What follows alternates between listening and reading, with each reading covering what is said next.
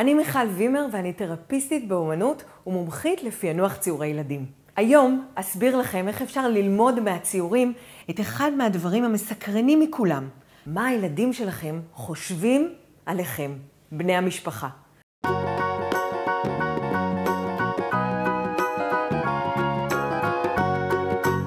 כשהילד שולף את הטוש, שימו לב לסדר שבו הוא בוחר לצייר את הדמויות. בדרך כלל, הדמות שהוא יצייר ראשונה תהיה דומיננטית יותר עבורו מבחינה רגשית.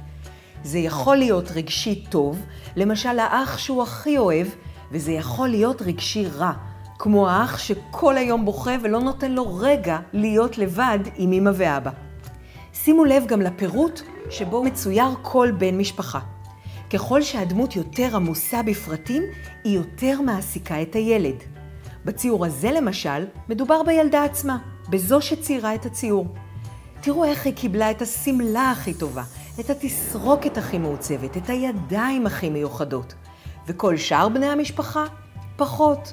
פחות שמלות, פחות שיער, פחות פחות ממנה. זאת בעצם ילדה שרגילה להיות במרכז תשומת הלב של המשפחה שלה.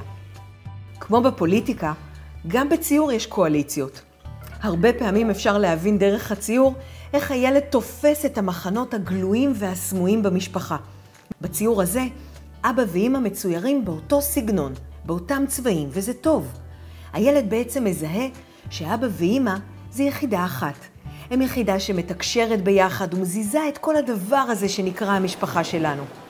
והאחים, גם הם מצוירים באותו סגנון, באותם צבעים, הם חווים יחד את העולם הזה.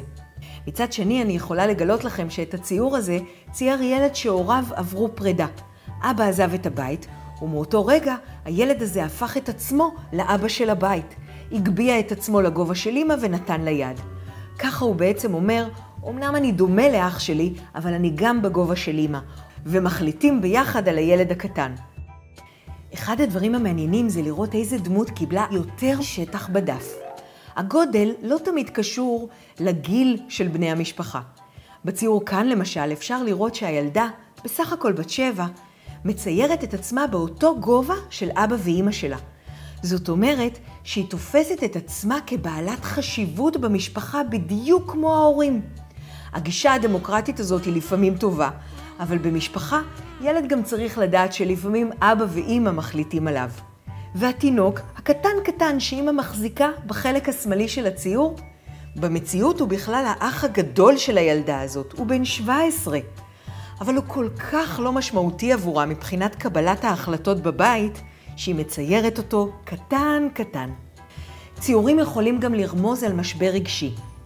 אפשר ללמוד את זה מדמויות לא צבועות, שחלקן מצוירות בקו רועד, שהרגליים שלהן לא יציבות, שהראש שלהן מונח בצורה לא יציבה. את הציור הזה, לדוגמה, ציירה ילדה שאימא שלה חלתה בסרטן. תראו את הציור ותבינו איזו טלטלה הילדה חוותה. אבל הנה בשורות טובות. תראו את הציור הזה, שציירה אותה ילדה, אחרי שאימא שלה הבריאה. הדמויות קיבלו צבעים, השיער התארך, ואנחנו רואים גם סביבה פורחת של דשא, של שמש זורחת, של שמיים כחולים. אופטימיות.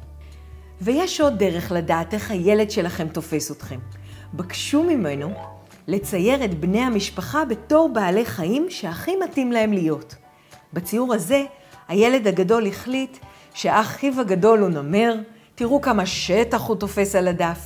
אמא הפכה לכבשה, ומאוד ברור מה נמר יכול לעשות לכבשה כשהיא מעצבנת אותו. אבא מצויר בתור דג, לא שומעים אותו והוא אפילו מרחף בציור, בקושי מורגש. אחותו של הילד היא דבורה, ושימו לב איזה עוקץ גדול הדבורה הזו קיבלה. אז איזה מזל שהילד הזה הוא פרפר, ומדי פעם הוא יכול לפרוס כנפיים ולהתעופף מהדינמיקה המשפחתית שהוא חווה.